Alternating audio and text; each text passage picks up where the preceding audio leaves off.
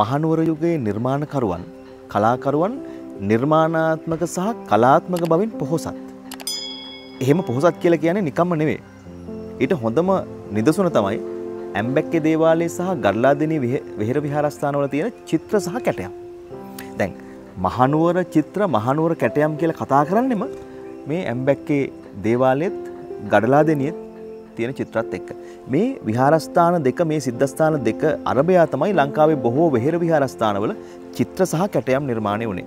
අපි දකුණට ගියද අපි වෙනත් ප්‍රදේශකට ගියද එහි අපිට දකින්න පුළුවන් වෙහෙර විහාරස්ථානවල මහනුවර යුගයේ චිත්‍ර මානුවර දිස්ත්‍රික්කයේ උඩුනුවර ඇම්බැකි ග්‍රාමයේ ඇම්බැකි දේවාලය පිහිටා තිබෙන්නේ. ක්‍රිස්තුවර්ෂ එදස්තුන්සේ පනස් හත එදස්තුන්සේ හැත්ත හතර කාල පරාසය තුළ ගම්පල රාජධානයේ රජ කළ තුංගන වීර පරක්‍රම්භාව රජතුමා විසින් තමා මේ දේවාලය ඉදිකළ බවට ඉතිහාසය සඳහන් වෙන්නේ. දැව්මය ගෘහනිර්මාණ ශිල්පය පදනම් කරගත් ඇම්බැක්ක දේවාලයේ ඉදිකිරීම් පිළිබඳව ජනශෘතිවලින් විධ අදහස් පල වෙන. සිංහලෙන් ලියවුණු ඇම්බැක්කේ වර්ණනාව නම් කාව්‍ය ග්‍රන්ථයේ මේ පිළිබඳ තොරතුරු ඇතුළත් වෙනවා. එහි අලංකාර කැටයම් නිර්මාණය කළ ශිල්පියා ලෙස සඳහන් ඇත්තේ දෙල්මඩ මුලාචාරය නම් ශිල්පියයි. රංගමනම් ගමේ වාසය කරන ලද බෙරවායන්නෙකුට වැළඳී තිබූ කුෂ්ටරෝගයක් කතරගම ගොස් කරන ලද ගණලව්වකින් පසුව සූහූ බවට ඉතිහාසගත ජනප්‍රවාදයන් වල සඳහන් වෙනවා. ඉන් පසු ඔහු වර්ෂයක් පාසා කතරගම ගොස් බෙරවයක් කඳසුරිඳුට කෘතගුණ සලකා තිබෙනවා. පසුකාලක මහළුව ඒ යාගත නොහැකිව සිත් ඇවුලෙන් සිටියේදී කතරගම සුරිඳු සිහිනෙන් පෙනි බියනොවී ගමට යව නොබෝ දිනකේ රුකගේ ලකුණක් පෙන්වා මගේ අනුහස් පාමි. එවිට මගුල් බෙරවයා බොහොමන් කරව. යනුවෙන් පවසා ඇත. පසු කලෙක වික්‍රම් බාහු රජුගේ අගමෙහෙසිය වූ සෙනකඳ බිසෝ බණ්ඩාර දේවයට අයත් ඇම්බැක්කේ මල්වෙනෙහි කටු පඳුරු කපද්දී එහි තිබූ කදුරුගැසිකි රුදිර ධාරාවක් නිකත්වී තිබෙනවා. බෙරවයන්න රජුට තමාදුටු සිහිනේ සැලකර සිටි බැවින් රජු එතන ඇම්බැක්කේ දේවාලය ඉදිකරන්නට කටයුතු යෙදවීය. ඇම්බැක්කේ දේවාලය ඇති වැදගත්ම ලක්ෂණය වන්නේ එහි දක්නට ලැබෙන සුවිශේෂී ලී කැටයක්. මේ ලී කැටයක් ඉතා උසස්තත්වයෙන් පවතින අතර මෙබඳු ලී කැටයක් ලංකාවේ කිසිදු තැනක දක්නට ලැබෙන්නේ නැහැ. ඇම්බැක්ක දේවාලයේ ලී කැටයම් පන්සේ දාහතරකටත් වඩා වැඩි ප්‍රමාණයක් ඇති බව මූලාස්වල සඳහන් වෙනවා. කැටයම් නිර්මාණය සඳහා යොදාගෙන ඇත්තේ ගම්මාලු පිහිම්බි නා කොස්වැනි ඉතා උසස් ලී වර්ග.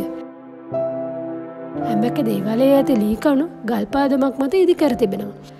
ඒ සෑමලී කනුවකම කිසියම් රටාවක් දක්නට ලැබෙනවා.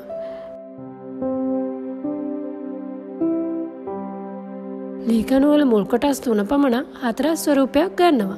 ඉන් අනතුරුව දක්නට ලැබෙන අට පට්ටම් කොටසක්. ඉතිරි කොටස හරි හතරස්. මේ සෑම කොටසකම අලංකාර ලීකැටයම් රැසක් දක්නට ලැබෙනවා. ඒවා සතුන්ගේ හා නළගනන්ගේ විලාශය දක්නට ලැබෙන ලීකැටයම්. තවද කැටයම් ශිල්පියාට ආවේනික වූ හංසරූප තනිහා යුගල වශයෙන් දක්නට ලැබෙනවා. මීට අමතර බේරුන්ට පක්ෂයා වැනි සත්වරූප මල්ලව පොර යුවල වැනි රූප ගණනාවක් මෙම කැටයම් අතර දක්නට ලැබෙනවා. මේ කැටයම් අතර ඇති මල්කම් නිර්මාණවල ඇති විශේෂත්වය වන්නේ එකිනෙකට ඉසිසේත් සමාන නොවූ නෙළුම්මල් වලින් මෙම කැටයම් නිර්මාණය කර තිබීමයි. ඇත්තරම අපිට අවශ්‍ය වන්නේ හෙට තනන නව පරපුරට අද ඉතිහාසයේ පොතපතට විතරක් සීමා කරන්න නැතුව ඊටාම ප්‍රායෝගිකව ඒව යාවත් කාලීන කරමින් එහි දැනුම් සම්භාරය හිමි පරපුරක් අද නිර්මාණය කරන්න. එවිට ඒ නිර්මාණය කරපු තරුණ පරපුර හෙට දවසේ ඉතිහාසය ගැන බොහොම ආඩම්බරයෙන් මේ රටේ ඉඳන් කතා කරાવી. එමනම් අපි යලිත් දවසක මෙවැනිම වැඩසටහනක් ජාතික උරුමයන් ආරක්ෂා කරගන්නේ කෙසේද යත් කියන මාතෘකාවෙන්ම අපි යලිත් දවසක වැඩසටහනක් අරගෙන ඔබ හා සම්බන්ධ වෙන්න හමුවන්ට බලාපොරොත්තු වෙනවා. අයිබෝන්. ප්‍රෞඩ උරුමයකට හිමිකම් කියන ශ්‍රී ලංකාවේ සුන්දරත්වය වැදගත්කම හා අභිමානය ලෝට විදහාපාන මෙවැනි වීඩියෝස් ඉදිරියටත් නැරඹීමට දැන්ම වව් ශ්‍රී ලංකා YouTube චනලය සබස්ක්‍රයිබ් කර බෙල් අයිකන එක කලික් කරන්න.